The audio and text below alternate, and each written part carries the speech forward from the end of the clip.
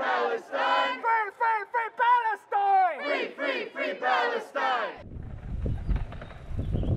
Israel সরকারের সঙ্গে project Nimbus নামের একশো বিশ কোটি ডলারের একটি চুক্তি রয়েছে গুগল ও অ্যামাজনের যার আওতায় ইসরায়েলি সামরিক বাহিনী ও সরকারের বিভিন্ন দফতরকে ক্লাউড পরিষেবা ও কৃত্রিম বুদ্ধিমত্তা সহ উন্নত প্রযুক্তি সরবরাহ করে কোম্পানি দুটি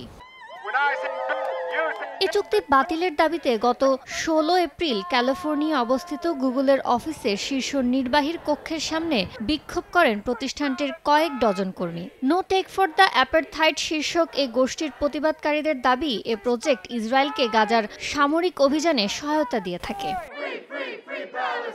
প্রতিবাদকারীদের বরাতে সংবাদ মাধ্যম সিএনএন জানিয়েছে, ইসরায়েল সরকারের সঙ্গে ক্লাউড কম্পিউটিং চুক্তির বিরোধিতা করায় আরও বিশ জন গুগল কর্মী চাকরি হারিয়েছেন। এ নিয়ে সব মিলিয়ে পঞ্চাশ জন কর্মী এই কারণে ছাঁটাই হয়েছেন। তবে চাকরিচ্যুত কর্মীদের অনেকেই ওই বিক্ষোভে অংশ নেননি বলে দাবি করেন প্রতিবাদকারীরা। বরং তারা পাশে দাঁড়িয়ে ওই সমাবেশ দেখেছেন। এসব তৎপরতার সঙ্গে তারা তেমন একটা যুক্তও নন।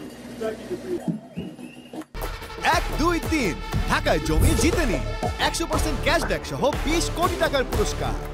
এক বিবৃতিতে প্রতিবাদকারীরা জানান, এভাবে কর্মীদের চাকরিচ্যুত করার মাধ্যমে আগ্রাসী ও প্রতিশোধমূলক আচরণের বহিঃপ্রকাশ ঘটিয়েছে গুগল। এদিকে, বিক্ষোভের কারণে আরও বেশ কয়েকজন কর্মীকে ছাঁটাইয়ের বিষয়টি নিশ্চিত করেন গুগলের মুখপাত্র। তবে এখন পর্যন্ত কতজন কর্মীকে চাকরিচ্যুত করা হয়েছে সেটি জানাননি তিনি। ইয়ানুর শিফাত, সময় সংবাদ।